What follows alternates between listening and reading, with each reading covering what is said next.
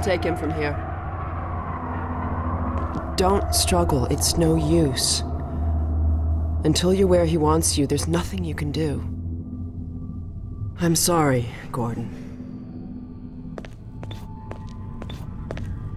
Carbon star ancient satellites colonized by sentient fungi, gas giants, inhabited by vast meteorological intelligences, worlds stretched thin across the membranes where the dimensions intersect. Impossible to describe with our limited vocabulary. What I've seen is also beyond words, Breen. Genocide, indescribable evil. Good God. Well, if it isn't Gordon Freeman at last. What's this? I'll put it over there. You have my gratitude, Doctor. First, you lead me straight to the doorstep of my oldest friend, and then you deliver yourself? If I'd known you were going to come straight up to my office, I wouldn't have bothered hunting you in the first place. Having both of you in my keeping ensures I can dictate the terms of any bargain I care to make with the Combine. Dr. Breen. Wallace. Yes, Judith, what is it? The bargain we should be making is for Eli's life so he can continue his research. Thanks to you, we have everything we need in that regard. You're more than qualified to finish his research yourself. What neither you nor I can do is convince that rabble in the streets to give up their senseless struggle. Yet Eli refuses to speak the words that would save them all. Save them? For what? Eli, if you won't do the right thing for the good of all people, maybe you'll do it for one of them. Alex, honey, Dad. Gordon? God damn you, Breen, you let her go. That's all up to you, my old friend. Will you let your stubborn short-sightedness doom the entire species, or will you give your child the chance her mother never had? How dare you even mention her? Alex, my dear, you have your mother's eyes, but your father's stubborn nature. You haven't seen a bit of it yet. Really? Well, let's see how well it serves you on the far side of a Combine portal. Go ahead, Breen. if that's the worst you can do, send us both through your portal. Oh, it's hardly the worst. But you might find that hard to believe once you get there. It isn't necessary. I agree. It's a total waste. Fortunately, the Resistance has shown it is willing to accept a new leader. And this one has proven to be a fine pawn for those who control him. No! Don't listen to him, Gordon. How about it, Dr. Freeman? Did you realize your contract was open to the highest bidder? Gordon would never make any kind of deal with you. I understand if you don't wish to discuss this in front of your friends. I'll send them on their way, and then we can talk openly. Don't struggle, honey. Dad, I'm so sorry. Alex, sweetheart. Judith, what do you think you're doing? We're doing what I could never do alone. We're stopping you. Yes. Guards, get in here! They know you betrayed them. They'll turn on you. Judith, Dr. Mossman, please! I'm sorry, Wallace. You're all out of time. Don't. Hurry! Dad, hang on. You fool! Watch out, he's gonna. No!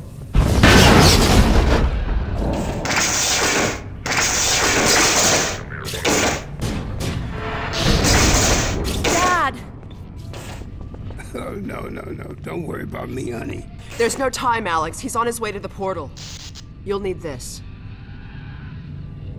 Dr. Mossman, Judith, look after my father. Don't you worry. Dad, I'm not saying goodbye. Never. Come on, Gordon. Let's go. My girl. Gordon, we haven't known each other very long, but I know you didn't have to do this. I had to rescue my father, but you. Thanks for coming after me. It's me you should be concerned. Hey, listen. I can still deliver That's him. but not without your help. The portal destination is untenable. Surely you can set the relay elsewhere. There's no way I can survive in that environment. A host body? You must be joking. I can't There possibly... he is. Oh, all right. Damn it. That's what it takes. Just hurry. He's right behind me. Oh, shit.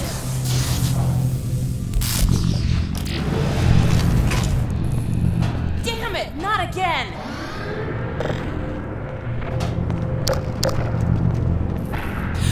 The gravity gun. he doesn't have a clue, does he? I wonder where he's going.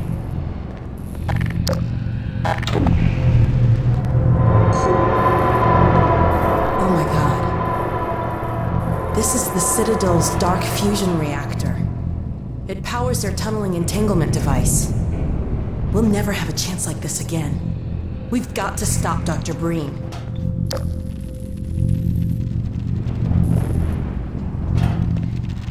I can't shut it down. Looks like he's turned over control to the other side.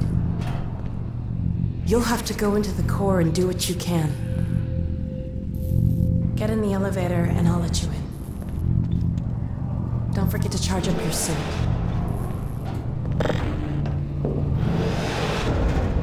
Do your worst, Gordon. But be careful.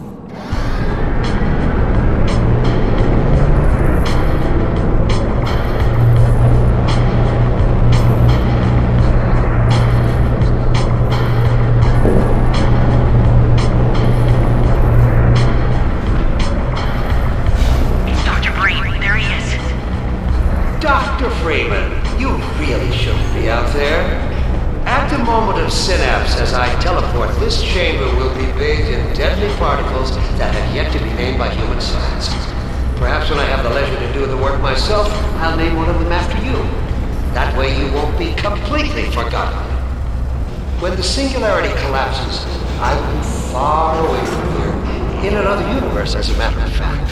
You, on the other hand, will be destroyed in every way it is possible to be destroyed, and even in some which are essentially impossible. I don't know what you can possibly achieve apart from your own annihilation.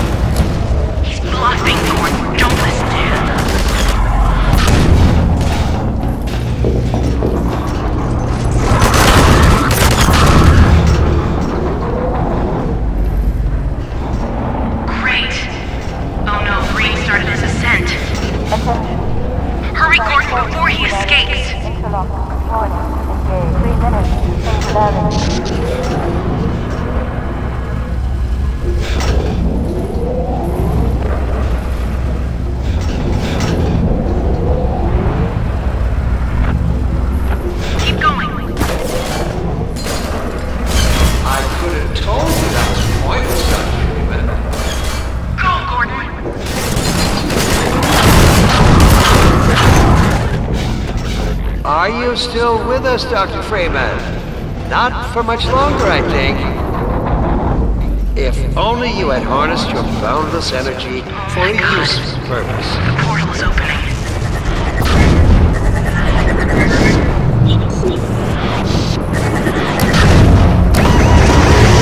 I hope you said your farewells. Go back, Freeman. You have no idea what you're doing.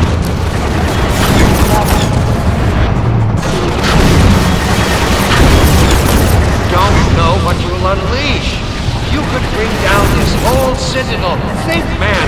Think of the people below. No! You need me. Yeah! You did it! Come on, Gordon. We've got to get out of here. Maybe we still have.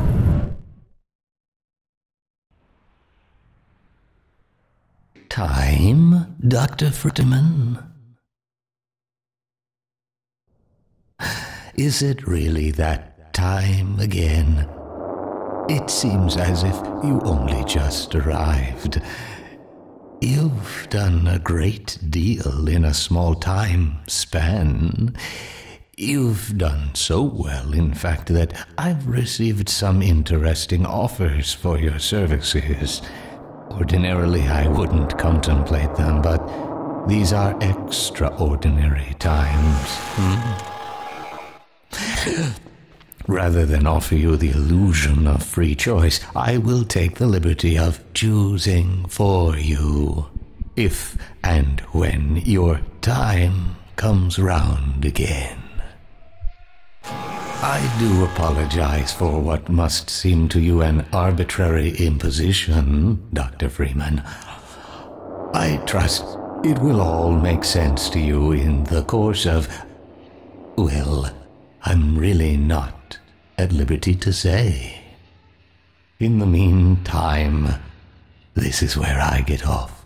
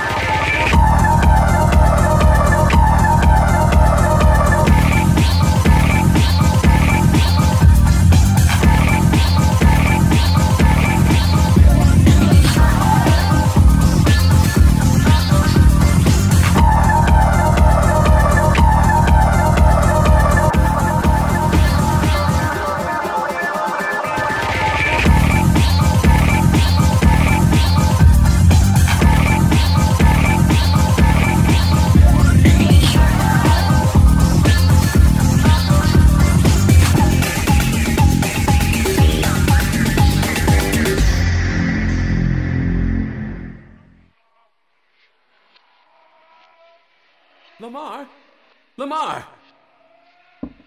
Blast that little. Where did she get to?